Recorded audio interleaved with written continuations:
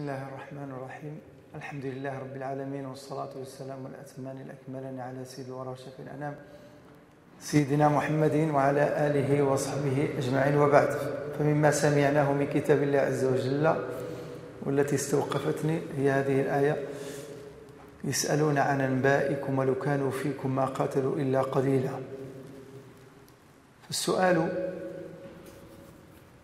ينقسم إلى أقسام وقد تعتريه الأحكام الخمسة. فهناك السؤال الواجب السؤال المستحب أو المندوب. والسؤال الحرام. السؤال المكروه. والسؤال المباح. فالسؤال الواجب هو المسلم إذا أشكل عليه الأمر في دينه ولم يتبين له ما يفعل في العبادات أو المعاملات فالسؤال هنا واجب.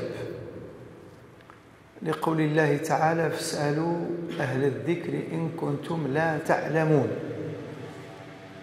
فمثل الإنسان أخطأ في الصلاة أو سهى في الصلاة ولم يدري ولا يدري ماذا يفعل. فلا بد أن يسأل في الصيام لا بد أن يسأل في الزكاة لا بد أن يسأل في الحج واجب أن يسأل. وكذلك في المعاملات في البيع والشراء فهنا السؤال يكون واجبا السؤال المستحب وهو أن يسأل عن أمور الدين والدنيا ليتعلم. أمور الدين الدين ليتعلم. هذا مستحب. فالإنسان يريد أن يزداد معرفة وأن يزداد علما. فيسأل. فهذا السؤال مستحب لأن طلب العلم أصلا ليس فرضا على كل أي العلم الفرض العلم معين ليس فرضا على كل أحد. وإنما هناك فرض الكفاية. النبي صلى الله عليه وسلم يقول طلب العلم فرض على كل مسلم. لكن إذا قام به البعض سقط الإثم عن الباقي. أما إذا ترك الناس كلهم العلم فهم آثمون. بمعنى يدخل يدخل هنا تخصص. إن هناك الفرض العيني والفرض الكفائي. الفرض العيني وهو ما يصلح به دينه وما يقيم به دينه. هذا فرض عيني. كيف تصلي كيف تصوم كيف تزكي كيف تحج كيف هذا فرض فرض عيني. والفرض الكفائي العلوم مثلا التعمق في العلوم الشرعية كتعلم الفرائض كتعلم أشياء من هذا القبيل. إذن هذا يسمى السؤال عن ازدياد العلم هو مستحب. حكمه الاستحباب الندب وهناك السؤال الحرام وهو أن يسأل عن أشياء سكت عنها الشرع. أن يسأل عن أشياء سكت عنها الشرع.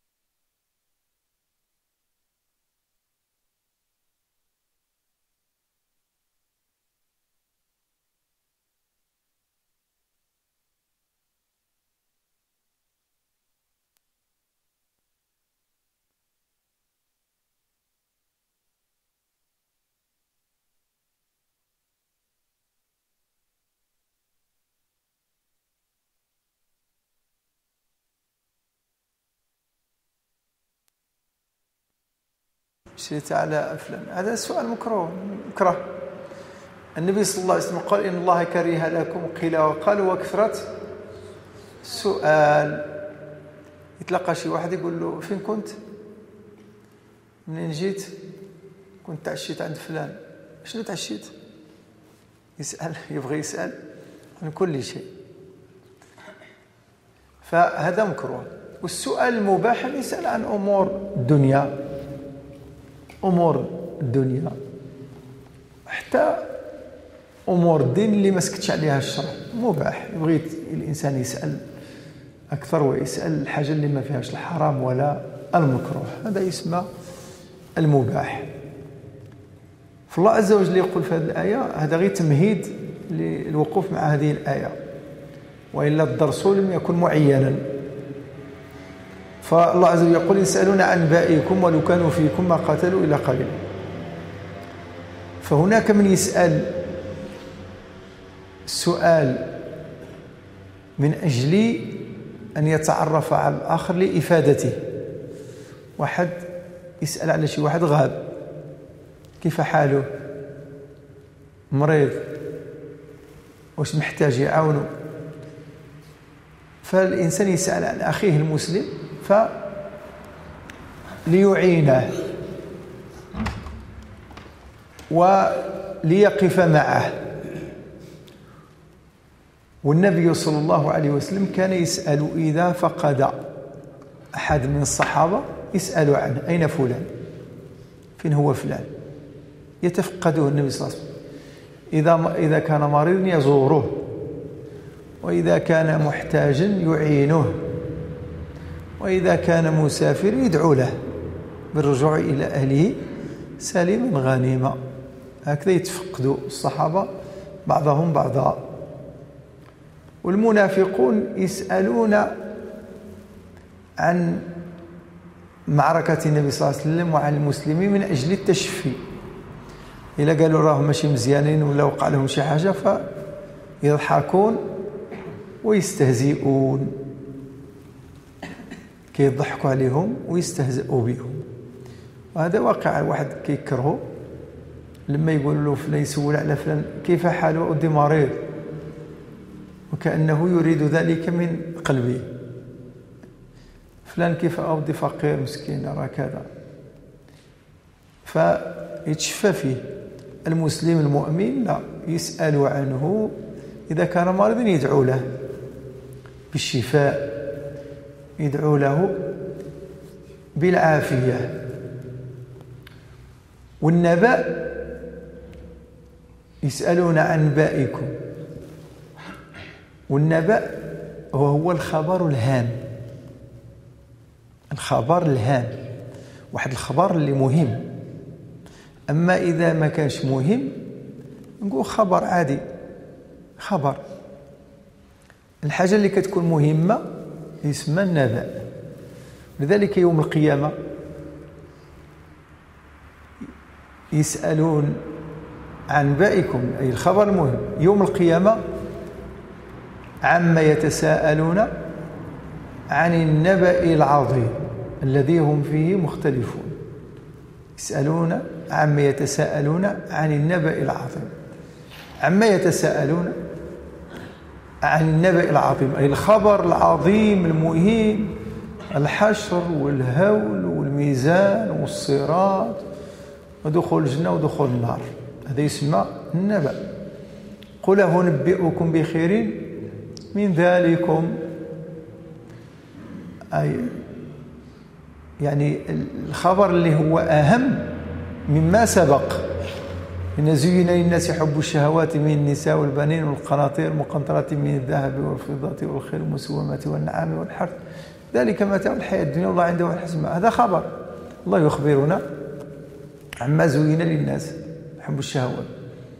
ولكن لما جاء الأمر عن الآخرة عن الجنة عن الثواب الكبير وكذا عن العبادة قال قل أنبئكم بخير من ذلك للذين اتقوا عند ربهم جنات تجري من تحتها النار خالدين فيها. هذا اسم النبأ يا أيها الذين آمنوا إن جاءكم فاسق ما قالش بخبر قال بنبأ فتبينوا بنبأ ماشي خبر. واحد يجي لك يقول لك ودي فلان طاح وتقرض تهرس. هذا نبأ ولا خبر؟ خبر. فلان راه جيعان خبر ولا نبأ؟ خبر لأن هذا كثير منه من هذا أمر عادي يسمى خبر. مشات الضوء. خبر ولا نبأ؟ خبر. ولكن لما يجي عندك يقول لك شي واحد أراه قتل واحد لا قدر الله. هذا خبر ولا نبأ؟ نبأ. آه. واحد يقول لك راه راه تكلم فيك وراه تحدث عنك بسوء ما خلى ما قطع فيك. هذا خبر ولا نبأ؟ نبأ. علاش؟ لأنه غادي يشتت الأسرة غادي يشتت العائلة غادي يشتت الأصدقاء. هذا يسمى نبأ. لأن العادي يعني العداوة ماشي أمر عادي. ولذا الله عز وجل يقول يا أيها الذين آمنوا إن جاءكم فاسق بنبأ ما بقاش بخبر. فتبينوا أن تصيبوا قوما بجهالة فتصبحوا على ما فعلتم نادمين. إن الرسول صلى الله عليه وسلم أرسل المسلمين الساعين على الزكاة يجمعوا الزكاة. لما مشاو لواحد القرية فاللي يرسلوا النبي صلى الله عليه وسلم كأنه قائد نتاع السعاد. لما هو في الطريق قرب كانت عنده شي حاجة بينهم وبين سا وبين ذيك القبيلة سابقا شحناء. فجاء الشيطان في خاطره قال له تأمل تخيل أن هؤلاء لم يسلموا ما في الإسلام. غادي تمشي غادي يقتلوك. ورجع النبي صلى الله عليه وسلم قال له يا رسول الله ما عطاوليش الزكاة راه منعوا يعطوا لي الزكاة. فنزلت الآية. النبي صلى الله عليه وسلم أرسل قالوا تحقوا تثبتوا حتى تسمعوا الأذان. فدخلوا عليهم وعطوا لهم الزكاة ورحبوا بهم. لما جاء رجعوا جبريل جاب هذه الآية. يا أيها الذين آمنوا إن جاءكم فاسق بنبأ فتبينوا أن تصيبوا قوما بجهالة فتصبحوا على ما فعلتم نادمين. واعلموا أن فيكم رسول الله لو يطيعكم في كثير من الأمر عنتم كيقول لهم الله لو كان ما كاينش الرسول صلى الله عليه وسلم هذا جاو لكم الخبر بانه راه ضربوه وراه ما هوش يعطيو له الزكاة. لو كان الرسول ماشي حكيم رسول الله غادي يرسل الجيش ويقتل ذاك القبيلة. ها هو وقع في مشكل. وهي ماشي صحيح الخبر ماشي صحيح. ولذلك الخبر الهام خصك تبين من هو هذا يسمى اذا النبأ. والسؤال جاء في القرآن الكريم كثير من من من الكلمات اللي كتدل أو اللي كتحمل الأسئلة في القرآن الكريم. يسألونك عن الخمر والميسر. سورة البقرة. يسألونك عن الخمر والميسر. قل فيهما إثم كبير ومنافع للناس. الإنسان يسأل عن دينه. أشكل عليهم الأمر. لأن العقلاء من الصحابة الصحابة رضوان الله العقلاء قالوا كيف للإنسان العاقل أن يشرب الخمر وأن يصير مثل الحيوان يتميل في الطرقات؟ فالخمر ما لا يوافق الإنسان العاقل. كيشربوه غير الحمق ها؟ مجانين. فسولوا يسألونك عن الخمر والميسير. الميسير كذلك القمار. ما يلعبوه غير العاطلين والكسالى واللي كيتمناو الاماني أما الرجل يبكر ويخدم يسألونك عن الخمر قل فيهما إثم كبير ومنافع للناس وإثمهما أكبر من نفعهما. السؤال لأنه يأتي بعده ماذا؟ الجواب. دائما السؤال موراه جواب. في سورة البقرة نفسها نفسها. يسألونك عن إله الله. قل هي مواقيت للناس والحج هذا حسن الاستدلال. استهلال آه يعني الاستهلال. يسألونك عن إله الله. هؤلاء سألوا النبي صلى الله عليه وسلم. ولا سألوا الله عز وجل. ها؟ كيسولوا الله النبي صلى الله عليه وسلم. والله يجيب يسألونك من؟ أي الرسول صلى الله عليه وسلم. هؤلاء جاءوا للنبي صلى الله عليه وسلم قالوا قالوا لماذا شكل الهلال هكذا؟ يسألونك عن إله الله. علاش كيكون قوس؟ ثم شوي يكبر ثم يكتمل يصير بدرا إذا فهلال قمر أو بدرا ثم قمر ثم يبقى ينقص. الله ما جاوبهمش لأن هذا ما فيش الفايدة ديالهم بماذا يستفيدون؟ إلا جاوبهم الله ما عنده حتى شي شي فايدة ومنفعة فيه. القمر القمر يكون هكذا والهلال يكون. أجابهم الله يسألونك عن إله الله. قل يا محمد لهم. قل هي مواقيت ما قال لهمش الجواب اللي بغاو هما. لا. قالوا هي هذا الهلال مواقيت للناس والحج. يوقف الشهر بأنه دخل الحج. مواقيت للناس. يحسبوا به. هذا الشهر الأول هذا الثاني هذا الثالث هذا الرابع وهكذا. إذن أسئلة في القرآن الكريم. ها؟ يسألونك لا في في سورة البقرة ساكن السؤال. وإذا سألك عبادي فإني قريب. اذا مش حل من سؤال في القرآن الكريم؟ ما لما يكون السؤال يكون مباشرة بعده الجواب. قل فقل قل فقل. إلا هذه الآية. وإذا سألك عبادي عني ما قالش فقل. فاني قريب. علاش؟ لأن الله ما كاينش الوسيطة بينه وبين وبين أحد. ما كاينش الوسيطة الله إذا أردت إذا إذا أردت دعوته فمباشرة توجه لي ما ديرش شي واحد وسيطة. وإذا سألك عبادي فقل لهم. لا لا مباشرة ادعي الله عز وجل. الباب مفتوح. إذا سألك عبادي عني فإني قريب أجيب دعوة الداعي إذا دعا بخلاف الآيات الأخرى. يسألونك عن الأنفال. زيد قل الأنفال لله والرسول. آه. الواسطة هنا شكون هو؟ هو سيدنا محمد صلى الله عليه وسلم. ليبين لهم. يسألونك عن الأنفال معنى الأموال اللي كنغنموها في الحرب. اش غنديروا بها؟ لأن اختلفوا الصحابة. الله قال قول الأنفال ذيك الأموال اللي كتغنموها في الحروب لله وللرسول. لله والرسول هو اللي يتصرف فيها. ثم جاء التقسيم بعد ذلك في في نفس الصورة في الصورة نفسها. واعلموا أن ما غنمتم من شيء فأن لله خمسه وللرسول وذي القربى واليتامى والمساكين ومن السبيل والسائلين أو فرق ها؟ كنتم آمنتم بالله وما أنزلنا على عبدنا يوم الفرقان. إذن هذا تقسيم نتاع الغنائم أنفال نعم. ها؟ يسألونك في سورة البقرة. نعم. شحال من سؤال في سورة البقرة؟ يسألونك عن المحيض قل هو أذى. فاعتزلوا النساء. في المحيض لأن اليهود كانوا لا يؤكلون ولا يشاربون المرأة الحائض. اليهود كان عندهم المرأة إذا حاضت ما يأكلوش معها وما يشربوش معه ما تطيب ما تسخر ما والو. وكيقول لك نجيسه وما ينعسش معها في الفراش واحد كيهرب منها الرجل يقول لك نجيسه الله عز وجل بين أن المرأة ماشي نجيسه هذاك دم عادة. يسألونك عن المحيط قل هو آذى بمعنى الرجل لا يقرب زوجته وهي حائض. يسألونك عن المحيط قل هو آذى.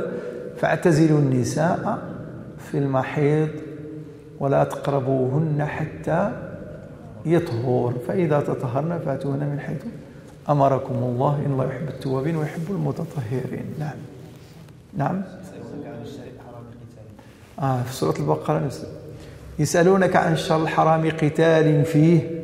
قل قتال فيه كبير. فيسأل سيدنا محمد صلى الله عليه وسلم القتال في أشهر الحرم وش حلال ولا حرام؟ في الدرس السابق عرفنا شكون هي أشهر الحرم؟ أربعة. إلى أشهر الحرم محرم القتال فيها يسألونك عن الشهر الحرام. هذا الشهر الحرام حرام فيه القتال. قل قتال فيه كبير وصد عن سبيل الله. ها؟ وكفر به والمسجد الحرام وإخراج آله منه أكبر عند الله والفتنة أكبر من القتل.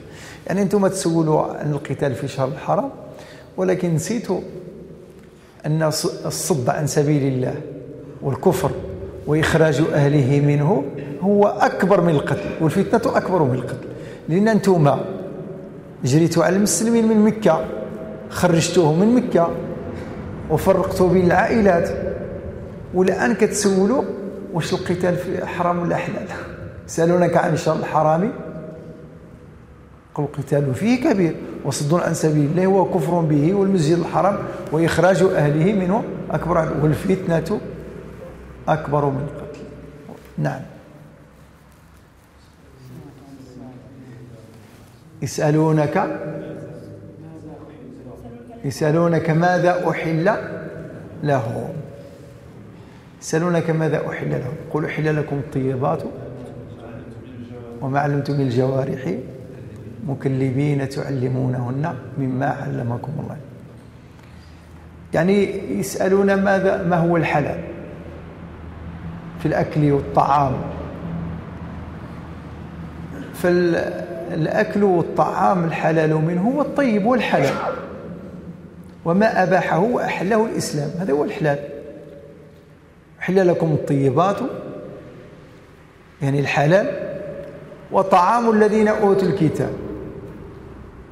طعام الذين أوتوا الكتاب حلال. ذبائحهم. شنو هو ذبائحهم؟ حلال ولا حرام؟ أهل الكتاب. حلال. بمعنى اليهودي إذا ذبح ذبيحة يجوز للمسلم أن يأكل منها. النصراني إذا ذبح النصراني اللي كيدخل الكنيسة. ماشي مشرك. كيكون هو أوروبي ولكن ما كيدخلش الكنيسة مثلا. غربي ما يدخلش الكنيسة ولا كينكر وجود الله هذا لا تؤكل ذبيحته. وإنما اللي كيدخل كنيسة مثلا كي واخا عنده الشرك بالله نعم. فهنا ذبيحته إذا ذبح تؤكل إذا ذبح. إذن يسألونك ماذا حل قول لكم الطيبات وطعام الذين أوتوا الكتاب. أحل لكم وطعامكم حل لهم. المحصنات المؤمنات المحصنات من الذين أوتوا الكتاب من قبلكم إذا آتيتموهن أجورهن محسن غير مسلم. بمعنى آه المرأة الكتابية يجوز للمسلم يتزوجها. يهودية ولا نصرانية؟ ولكن بشروط. بشروط. تكون كتابية عندها كتاب سماوي. وأن تكون محصنة تكونش خرج الطريق نعم. وأن لا تكون من دولة محاربة للإسلام والمسلمين جهارا وأن لا تكون على حساب بنات المسلمين.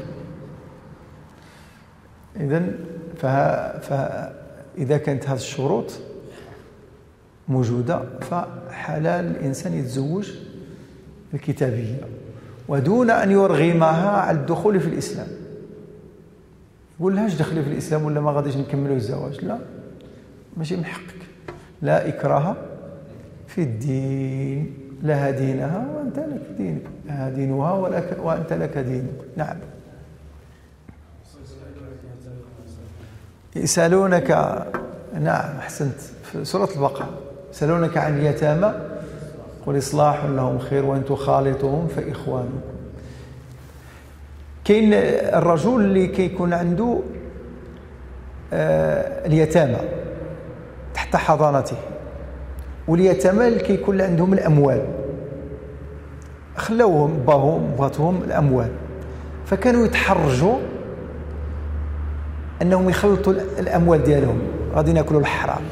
الذين يأكلون أموال اليتامى ظلما إنما يأكلون في بطونهم نارا وسيصلون سعيرا. فخافوا. أن يقعوا في هذا العذاب. فيجيوا النبي صلى الله عليه وسلم يسولوه عن مال اليتامى. يسألونك عن يتامى قل إصلاح لهم خير. يعني تتاجرون بأموالهم وتنمون لهم أموالهم فهذا خير. وإن تخالطون فإخوانكم. إذا خلطوا الأموال وخلطوا العمل فإخوانكم. ولكن الإنسان يأكل بالمعروف. يأكل فيما يحتاج ولا يضر. والله يعلم المفسد من المصلح. في سورة البقرة نفسها شحال من سؤال؟ يسألونك ماذا ينفقون؟ قل ما أنفقتم من خير فالوالدين والأقربين واليتامى والمساكين وابن السبيل والسائلين